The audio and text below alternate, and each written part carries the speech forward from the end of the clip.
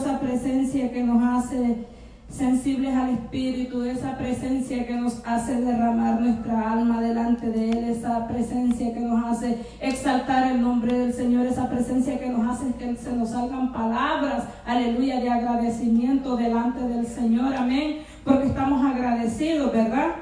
Aleluya. Y como decía un hermano por ahí, si usted no sintió la presencia del Señor, hermano, decía, reconcíliese con el Señor porque es necesario que nosotros sintamos, porque nuestro Dios es un Dios vivo, amados hermanos. Y el pueblo del Señor también tiene que ser vivo. Alabado sea el nombre de Cristo Jesús unánimes, hermanos, en las cosas que hacemos aquí dentro de la congregación, dentro de la iglesia, unidos en un mismo sentir, amén. Porque ahí es donde la gloria del Señor desciende, ahí es donde el Espíritu Santo nos ministra, amados y hermanos. Y a veces el Espíritu Santo no hace nada con nosotros porque a veces como que andamos a la carrera, ¿verdad? y a veces como que nos molesta cuando otro está siendo ministrado y, lo que hago yo es hacerme un lado y que siga esto por allá. Amados hermanos, eso no debe de ser así dentro de la iglesia del Señor, dentro del cuerpo de Cristo, porque cuando nos mantenemos perseverando unánimes en la fe, en la adoración, alabando al Señor, dice la palabra, que es ahí donde el Señor añade los que han de ser salvos, es ahí donde la presencia, el Espíritu Santo viene sobre nosotros. ¿Cuántos dicen amén? Es palabra del Señor, pero le voy a invitar a que se ponga de pie para que oremos en esta hermosa hora y que sea el Señor hablándonos a través de su palabra. Aleluya. Alabado sea el nombre de Cristo Jesús. Estamos, aleluya, en la casa de Dios. Amén. En el templo, en la casa de Dios, como usted le quiera llamar, casa de adoración, puerta del cielo, aleluya. Vamos a orar primeramente al Señor en esta hermosa hora. Amado Padre Celestial que estás en gloria, en esta hora venimos delante de tu presencia. Te pedimos Espíritu Santo que sea usted hablando a la congregación. Le pedimos que sea usted llenando nuestra vida de su presencia, Señor, de tal modo que recibamos la llenura, el poder y la gloria de lo alto. Ese poder que pudre los yugos, ese poder que rompe las cadenas, ese poder que nos da la fuerza para continuar cada día, amado Dios de la gloria, para seguir adelante como dice su palabra, y recibiréis poder para ser testigos de la gloria que yo derramaré sobre vosotros, como dice su palabra, por todos los confines de la tierra. Queremos ese poder, Señor, la iglesia de Cristo en estos últimos tiempos, porque queremos ser llenos y revestidos de su gloria. En el nombre de Jesús, en esta hora estamos delante de su presencia. Le pedimos, Señor, que sea usted reprendiendo al devorador, que sea usted reprendiendo toda fuerza del maligno, toda potestad las tinieblas, Señor, que se levanta en el nombre de Cristo Jesús, que sea usted sacando toda obra de las tinieblas en esta hermosa hora y declaramos que la gloria de suya es la que prevalece aquí dentro de la congregación, dentro de los hermanos, Señor, dentro de tu pueblo, porque somos pueblos tuyos y ovejas de tu prado, Señor. Gracias te damos por este hermoso día. Gracias, Señor, porque hemos estado aquí, Señor, aleluya, adorándote, Padre, y exaltándote en el nombre de Jesús. Amén. Así, amado hermano, váyase al libro de Nehemías. Aleluya, alabamos al Señor en esta hermosa hora. Cuando usted tenga el libro de Nehemías, aleluya, vamos a estar en el capítulo 2, libro de Nehemías, capítulo 2.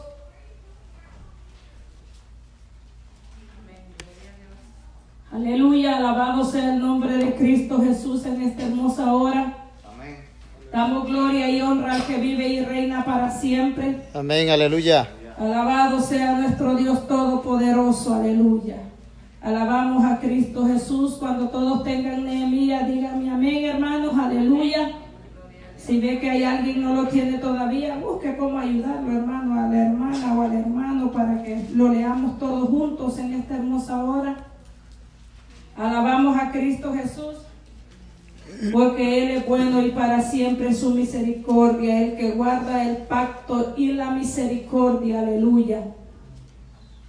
Alabado sea nuestro Dios Todopoderoso. ¿Quién vive, hermanos? Y a su nombre.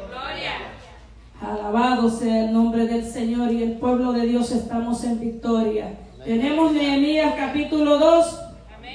Entonces vamos a estar leyendo dos versos, amados hermanos. Vamos a estar leyendo el verso 19 y el 20, aunque vamos a estar hablando del capítulo 1 y del 4, por ahí nos vamos a quedar. Vamos a tratar de ser un poco breve, pero vamos a, hablar de lo que el Señor ha puesto en esta hermosa hora. Dice la palabra del Señor, honramos al Padre, al Hijo y al Espíritu Santo. Y la iglesia dice. En el 20 nos unimos, dice, pero cuando lo oyeron, dice Zambalab, dice Oronita, Tobías, el siervo amonita, y Giesen, dice el, el árabe, hicieron escarnio de nosotros y nos despreciaron diciendo, ¿qué es esto que hacéis vosotros? ¿Os rebeláis contra el rey? Todos el 20. Y en respuesta les dije, el Dios de los cielos, Él nos prosperará y nosotros sus siervos nos levantaremos y edificaremos porque vosotros no tenéis parte ni derecho ni memorias en Jerusalén. Puede tomar asiento, amados hermanos, en esta hermosa hora. Damos la gloria al que vive y reina para siempre. Amén. Alabado sea el nombre de Cristo Jesús. Está aquí la iglesia de Cristo. Aleluya, le pueden dar un fuerte aplauso al Señor, al Señor, al Dios Todopoderoso. Amados hermanos, estamos contentos de estar aquí en la casa del Señor y alabamos al Señor y ahora vamos a escuchar la palabra del Señor. Vamos a tratar de ser un poco breves, aleluya, porque queremos compartir con cada uno de ustedes, queremos tomarnos un poquito de tiempo y compartir con ustedes, aleluya compartir otro pan también por allá que nos está esperando, ¿verdad? Con cada uno de ustedes, amados hermanos. Pero vamos a la palabra del Señor, que, es lo importante en esta hermosa hora. Alabado sea el nombre de Cristo Jesús. Vamos a hablar acerca, le vamos a, le vamos a poner como tema, este, nos levantaremos y edificaremos, amados hermanos. ¿Cuánto le gusta edificar? Aleluya. Alabado sea el nombre del Señor. Esto es lo que nos manda hacer nuestro Señor Jesucristo. Entonces le hemos puesto como tema, nos levantaremos y edificaremos. Aleluya. Alabado sea el nombre del Señor. Esto fue lo que hizo Enemías, levantarse, ¿verdad? Que cuando uno está ahí acostadito, ¿verdad? O está sentadito, ¿verdad? Y cuando no se quiere mover, y más si es día de servicio, y usted está pensando, voy o no voy, o cómo está la cama, o mejor me quedo durmiendo, o mejor me quedo descansando, ¿verdad? Pero levantarse, amados hermanos, es una acción, aleluya, que usted viene y se levanta y, y toma una decisión también, amén. Entonces esto fue lo que hizo Nehemías, amados hermanos. Vamos a ir un poquito a la historia para después de entrar en el desarrollo. Aleluya, alabado sea el nombre del Señor. Le damos la bienvenida a todos los hermanos que han llegado, a la mamá de nuestra hermana Wendy, a Marta que está por aquí, aleluya. Démele fuerte ese aplauso al Señor porque es un alma que está aquí más, aleluya. A nuestra hermana María que está aquí, la jovencita Darling que aquí. ¿Cuántos alaban al Señor? Señor. fuerte ese aplauso, si es para el Señor, deseo fuerte, aleluya. Entonces, amados hermanos, esta palabra que dice Nehemías aquí dice que cuando lo oyeron Zambalá, dice, empieza a decir Nehemías, esta fue una respuesta, amados hermanos, de Nehemías a Zambalá, a Tobías y a, y a Giesen, el árabe. Zambalá, amados hermanos, era un gobernador de Samaria, aleluya, que estaba en contra del pueblo de Israel.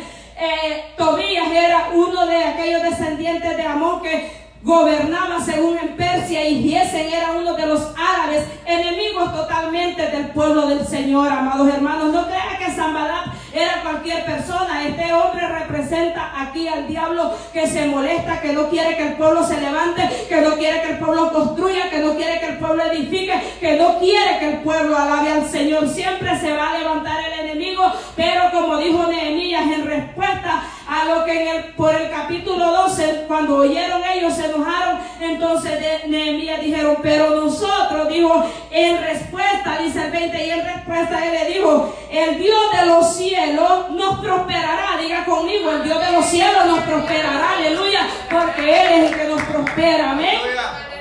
Entonces, en respuesta a eso fue que le dijo eh, Nehemías, el Dios de los cielos nos prosperará a nosotros, a sus siervos, y nos levantaremos y edificaremos. Esta palabra es para la iglesia de Cristo, amén.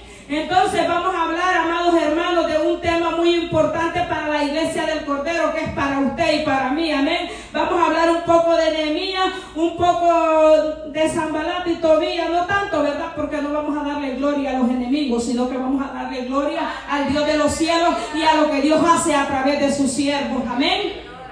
Entonces vamos a hablar un poco también acerca de la reconstrucción de las murallas de Jerusalén. Comenzamos, amados hermanos, con el maestro constructor que es Nehemías, aleluya. Una de las características más notables de Nehemías en el libro que él escribe, amados hermanos, es una verdadera confianza en el Señor, una verdadera confianza en el Dios de los cielos, aleluya. ¿Cuántos dicen amén?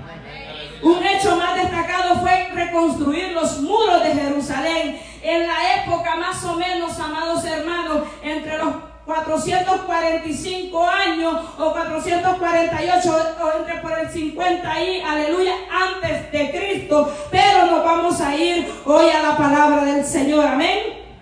La ciudad de Jerusalén fue destruida, amados hermanos, cuando en el tiempo de Nabucodonosor, yo creo que todos sabemos la historia, que fueron cautivos, fueron llevados por 70 años, cuando ellos llegaron a Jerusalén, aleluya, destruyeron sus puertas, dice la palabra del Señor, destruyeron los palacios, quemaron a fuego a la ciudad, amados hermanos, dejando aquellas ciudades protegidas botaron aquellos muros, alabado sea el nombre del Señor. Entonces, cayendo las murallas, viene quedando aquellas ciudades protegidas, alabado sea el nombre del Señor. Cuando los muros caían, eh, los muros representaban, amados hermanos, una protección, alabado sea el nombre de Cristo Jesús, que cuando el enemigo quería atacar una ciudad, tenía que rodear primero la ciudad y se llevaba un tiempo para hacer estas cosas. Aleluya. Se llevaba un tiempo rodeando la ciudad porque eso no era de la noche a la mañana. Aleluya. Y, y las murallas llevaban tiempo destruidas. Pero mire cómo el Señor, con una sola decisión que un hombre tome, en 52 días se construyeron los muros de Jerusalén. Y a su nombre.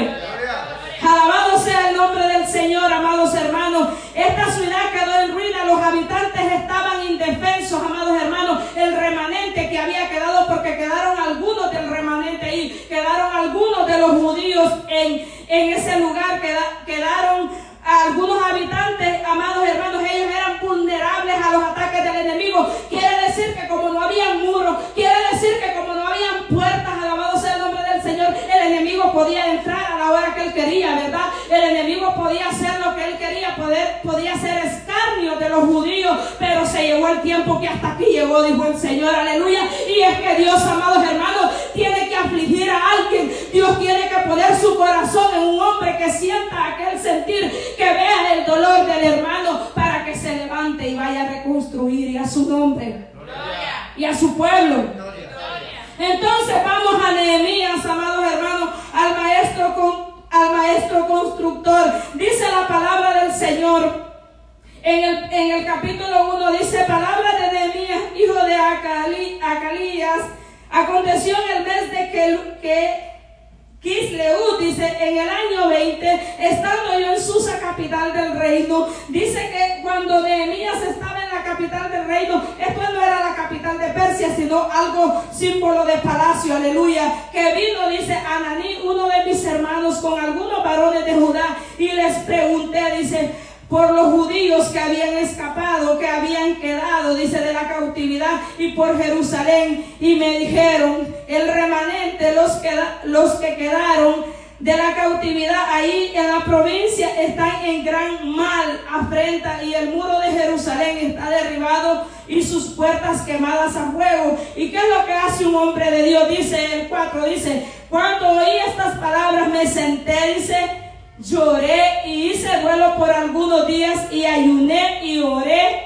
delante del Señor. Mire, amados hermanos, cuando Nehemías, cómo actúa un hombre de Dios, cuando, cuando recibe la noticia, Nehemías, Nehemías, amados hermanos, era un hombre que servía como cópero en aquella ciudad de Persia. Era un hombre muy importante, era un hombre que tenía mucha intimidad con el rey, era un hombre que podemos decir que económicamente vivía bien, ¿verdad? Alabado sea el nombre del Señor. Vivía en un palacio, amados hermanos. Quizás su recámara, aleluya, estaba a la parte del rey, quizás al frente,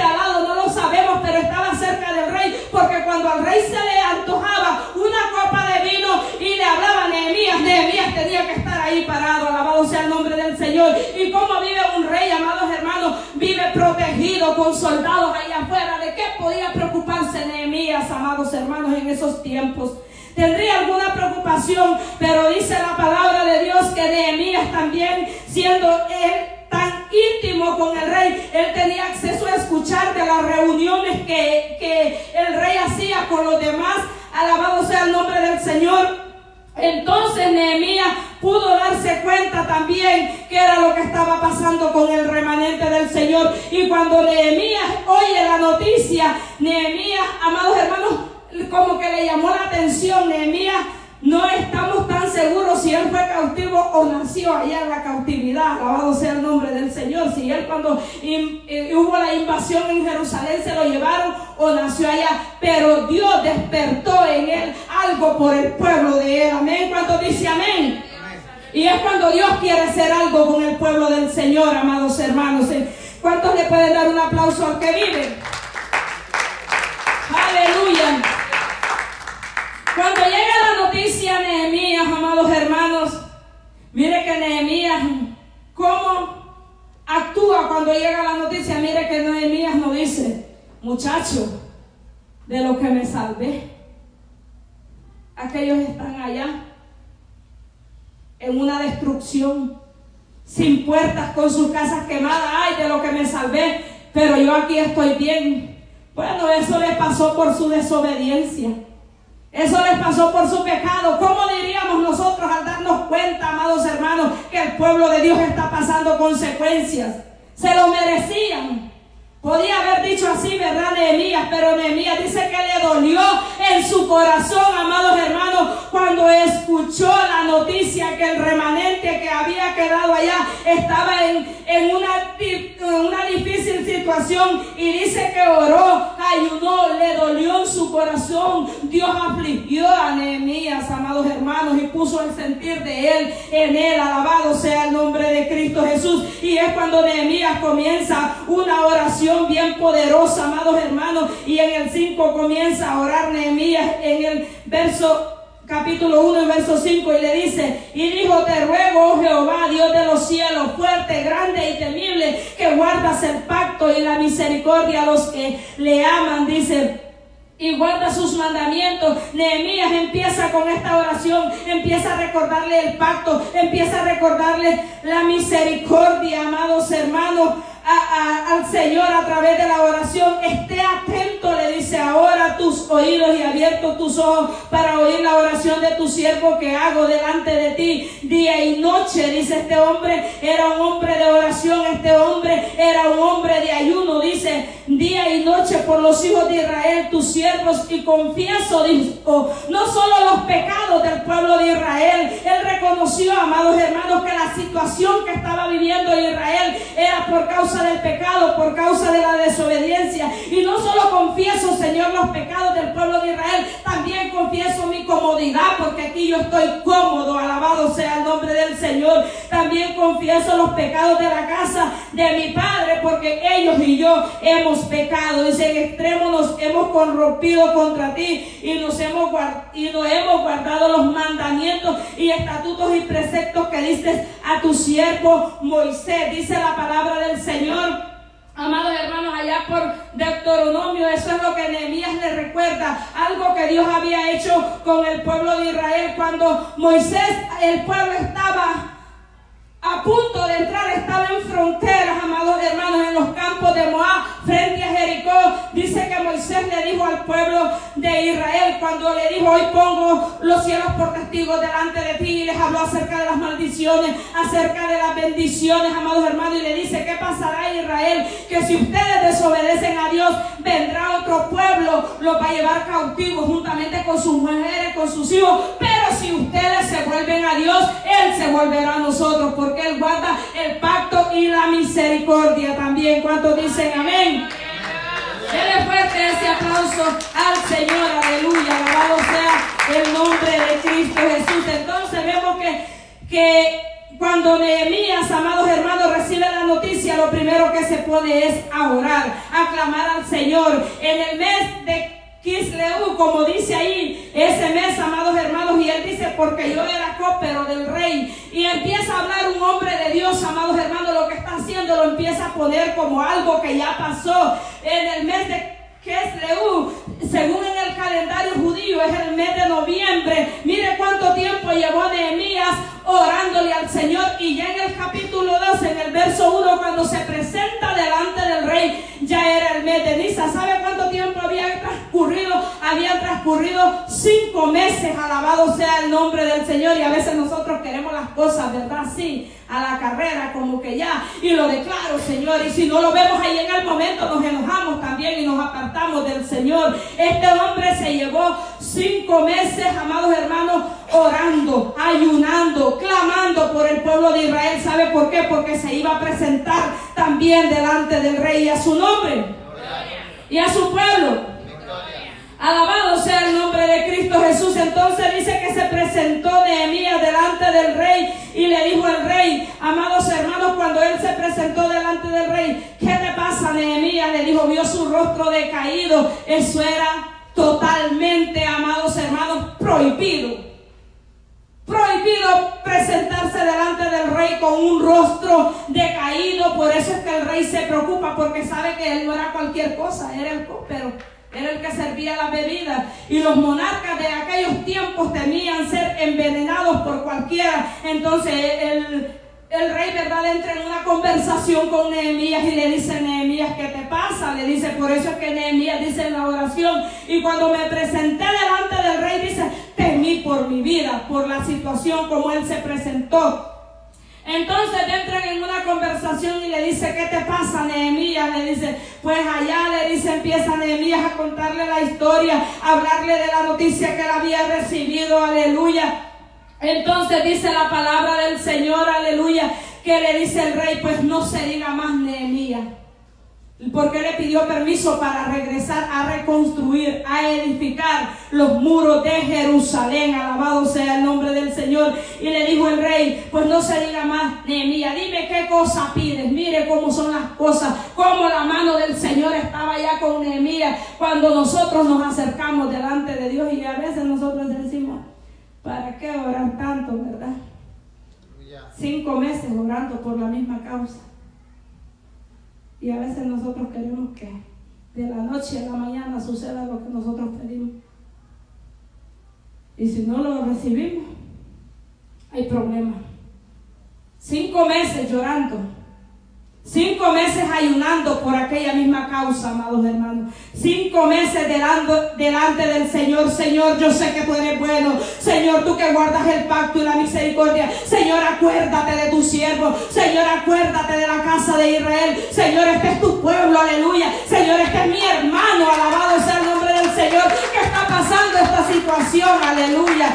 Eso fue lo que amados hermanos. Y eso fue lo que lo llevó a tener gracia delante del rey, aleluya. Y el rey le dice, amados hermanos, ya en el capítulo 2, en el verso 4, le dice el rey, después de haber tenido aquella conversación, le dice, y me dijo el rey, dice, ¿qué cosa pides, Nehemías? En pocas palabras, ¿qué es lo que necesitas, Nehemías? Aleluya. Y Nehemías le dijo, aleluya, que, que le diera permiso de ir. Pues no solo te voy a dar permiso, también te voy a dar cartas, aleluya, para que puedas pasar al otro lado. También te voy a proveer todo lo que tú necesitas. Alabado sea el nombre del Señor.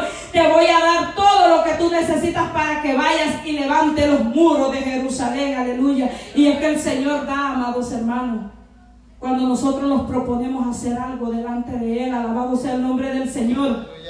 El Señor da, alabado sea el nombre de Cristo Jesús. Él dijo, te pido, oh Señor, le dice, aleluya, que le diera gracia delante del rey, amados hermanos, y le dio esa gracia y siguió, dice Nehemías. Entonces, cuando Nehemías llega, amados hermanos, a Jerusalén, ya con el permiso, ¿verdad? Ya con, con todo, ¿verdad? Ya vamos a ver qué es lo que vamos a hacer, pero algo vamos a hacer. Vamos a levantar los muros de Jerusalén. Yo no sé de qué manera vamos a comenzar, pero algo tenemos que hacer en la obra del Señor, amados hermanos. Cuando vemos la necesidad, algo tenemos que hacer, tenemos que movernos Dice la palabra de Dios que Nehemías salió con el viaje, amados hermanos, siguió hacia Jerusalén, aleluya. Le dijo el, el rey, le dijo, no vas a ir solo, no estás solo, Nehemías, en esta situación, porque Dios está contigo, aleluya. Y la gracia del rey Artajes también estaba con Nehemías, alabado sea el nombre del Señor. Y la mano de Dios, como dijo Nehemías, está conmigo también. Alabamos al Señor. Cuando llega Nehemías a Jerusalén, comienza a rodear el lugar, amados hermanos, comienza a caminar sobre las puertas quemadas. Era tanto los escombros que no se podía caminar, dice la palabra del Señor, ni el caballo podía caminar por ahí. Entonces, ¿qué tuvo que hacer? Caminar a pie, me bajo del caballo, me bajo de la comodidad, pero hoy vamos a hacer algo porque aquí hay algo que hacer. Nehemías comenzó a visualizar en silencio cómo iba a comenzar a edificar, amados hermanos. ¿Y cómo estamos en la iglesia de Cristo hoy en día? ¿Estaremos edificando? Amén, aleluya. Cuando vemos la necesidad de los hermanos, hay que levantar los muros caídos, amados hermanos. Hay que edificar, hay que trabajar en la obra del Señor. Pero lo que llama la atención de Nehemías, amados hermanos, que antes de hacer toda la obra, comenzó a limpiar, comenzó a quitar los escombros. Porque aquella ciudad sabe por qué no se podía caminar por los escombros. Todo lo que había ahí y a veces por qué nosotros no podemos caminar. ¿Por qué a veces nosotros no podemos hacer nada, amados hermanos? A veces creemos que estamos haciendo y no hacemos nada. Comenzó a caminar. Comenzó a quitar los escombros, dice la palabra del Señor. Comenzó a limpiar. ¿Sabe que hay escombros que hay que sacar, aleluya, del pueblo del Señor? Gloria a Dios, aleluya. Hay cosas que hay que limpiar, amados hermanos. Para edificar un muro primero hay que limpiar. Porque la reconstrucción quiere decir algo que ya estaba construido, se destruyó, pero había que levantarlo otra vez. Había que quitar las ruinas, alabado sea el nombre del Señor. Había que limpiar, había que quitar todo lo que estaba ahí, todo lo sucio. Nadie se había preocupado, alabado sea el nombre del Señor, pero Dios puso este sentir en Nehemías. Entonces, para que nosotros ser buenos edificadores, buenos constructores, hay que sacar escombros. Hay que examinar nuestros corazones. Aleluya. Y examinarnos si verdaderamente estamos edificando, amados hermanos, en esta hermosa hora. Alabado sea el nombre del Señor. Hay que edificar, hay que trabajar en la obra del Señor. Eso fue lo que, ese fue el mensaje que Nehemías llega como un buen líder. Y no solo le llega diciendo, se llega presentando también en ejemplo, amados hermanos. No solo digo, judíos, pónganse a trabajar. Yo solo lo voy a observar qué es lo que van a hacer ustedes. Él fue el primero en comenzar y a su nombre. Gloria. Dice, amados hermanos, entonces nosotros como pueblo de Dios, ¿qué hay que hacer? Como dijo Nehemías, pero nosotros, dijo, nos levantaremos y edificaremos y trabajaremos en la obra de Dios para que el enemigo no tenga más, amados hermanos, acceso a seguirnos dañando, amados hermanos. Hay que quitar los escombros y hay que levantar el muro de la protección. El muro representa la protección, alabado sea el nombre de Cristo Jesús la protección que le hacía falta a Israel, amados hermanos. Hay que reparar las puertas, dijo Nehemías, y comenzó una por una, y la primera puerta que reparó son, fueron las puertas de las ovejas, las puertas que llevaban las ovejas al sacrificio. Fueron 12 puertas las que fueron reparadas, las 12 puertas que representan también la nueva Jerusalén que descenderá del cielo, y es su nombre. Gloria. Hay que reparar los portillos, no hay que dejarle ni un lugarcito al diablo ahí, amados hermanos, donde él se pueda meter. Hay que cerrar todo, hay que ponerle un sello completamente y a su nombre. Aunque se levante en contra de nosotros, amados hermanos, Zambalat, Tobía y Giesen, como le decía al principio, no eran cualquier persona aquellos, aleluya, que se levantaron en contra de Nehemías. El diablo no le gusta, amados hermanos, que no le gusta que el pueblo de Dios esté activo en la obra del Señor. El diablo le gusta que esté cómodo, que uno esté cómodo. El diablo siempre se va a levantar en contra del pueblo de Dios, amados hermanos. Cuando lo oyeron, dice el verso 2, Dice el 10, dice, pero oyendo Zambalat, Aronita, Tobía, el siervo amonita, les disgustó, dice, en extremo porque viniese alguno para procurar el bien de los hijos de Israel. Se enojaron estos tres hombres, amados hermanos, se levantaron en contra del pueblo de Dios para que ellos edificaran, aleluya, el muro, amados hermanos, el pueblo había estado cautivo, alabado sea el nombre del Señor por 70 años y se le estaba dando permiso ya eh, a ellos que regresaran, aleluya. Dice la palabra del Señor que Edras preparó su corazón para adquirir la ley de Dios, aleluya.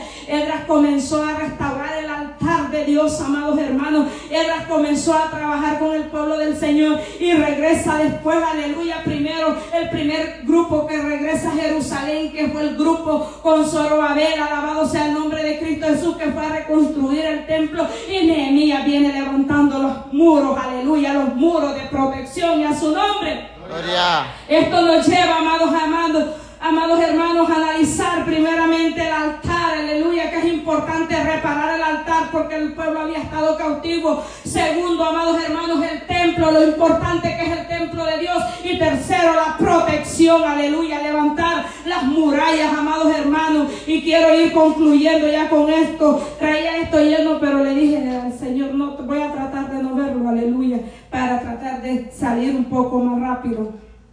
Entonces dice en el versículo, en el capítulo 4, voy a leerles el 4 ya para ir concluyendo. Capítulo 4, verso 1 comienza diciendo, dice, cuando oyó Zambalat, dice que nosotros edificábamos el muro, dice, se enojó, aleluya. ¿Usted cree que el diablo está contento que usted se esté edificando en esta hora aquí? No está contento, amados hermanos. El diablo se enoja, aleluya, se enoja grandemente, pero nosotros adoramos un Dios de poder. A nosotros adoramos al Dios de los cielos como Dios Nehemías. Y Él nos prosperará, aleluya, mientras nosotros sigamos, aleluya. Dice, oyó Zambalá que nosotros edificábamos el muro, se enojó y se enfureció en gran manera. dice, e hizo escarnio, dijo, de, lo- de los judíos, dijo, y habló delante de sus hermanos y del ejército de Samaria. Oiga bien cómo habla el diablo, habla delante de sus ejércitos, porque él también, el, el- el enemigo es un enemigo poderoso, pero es más poderoso, diga conmigo, es más poderoso el que está en mí, diga conmigo. Más es más poderoso el que está en mí que el que está allá afuera, aleluya. Dice la palabra del Señor y dice y con todo su ejército de Samaria, dijo eh, que era Zambalat y dijo, ¿qué hacen estos débiles judíos? Mire cómo los trataba este, este hombre, ¿qué, hizo- qué hacen estos débiles judíos? ¿Se les permitirá ofrecer sacrificio? Dice, acabarán en un día, resucitarán a los montones del polvo, las piedras que fueron quemadas, aleluya, pero lo que Zambalat y Tobías no sabían era que Dios iba a hacer grandes cosas Dios, también con esto. Alabado sea el nombre del Señor. Y estaba junto a él, dice Tobías Amonita, el cual dijo, lo que ellos edifican del muro, del muro de piedra, si subiera una zorra lo derribará. Y entonces fue cuando Nehemías clamó otra vez al Señor y dijo, oye, oh Dios nuestro, que somos objeto de sus menosprecios, y vuelve el baldón de su de su menosprecio y vuelve sobre ellos, sobre su cabeza y entrégalos por despojo en la tierra de su cautiverio. Dice, no cubra su iniquidad, Señor, ni su pecado sea borrado delante de ti, porque se airaron contra los que edificaban. Edifiquemos pues, dijo Nehemías, ya hablando al pueblo, edifiquemos pues el muro y toda la muralla fue terminada hasta la mitad de su altura porque el pueblo tuvo buen ánimo, dice la palabra del Señor. ¿Por qué fue edificada? Porque tuvieron buen ánimo. Porque tuvo buen ánimo para trabajar, dice la palabra del Señor. Entonces mire cómo el enemigo se enoja cuando nosotros venimos a la casa del Señor. Dice, ¿volverán a ofrecer sacrificios otra vez? Esto era lo que más temía el enemigo. Esto es lo que el diablo no quiere, amados hermanos. Se le volverá a ofrecer sacrificios otra vez a Dios. ¿Sabe por qué? Porque el sacrificio en los tiempos antiguos era el nivel más alto de adoración, aleluya.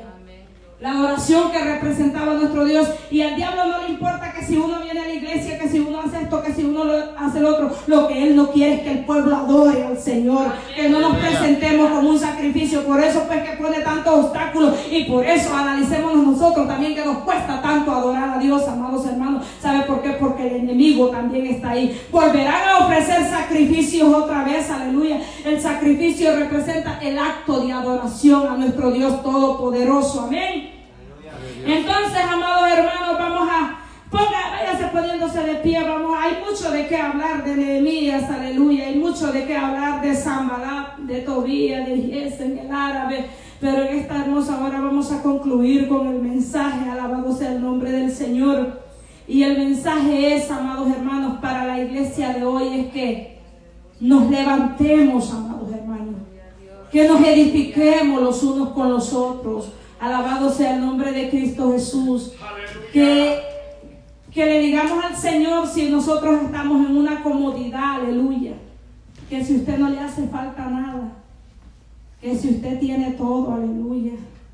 Pero si usted sabe de alguien que tiene una necesidad, dígale al Señor que despierte ese deseo por ayudar. Nehemías, amados hermanos, sintió la aflicción de su pueblo.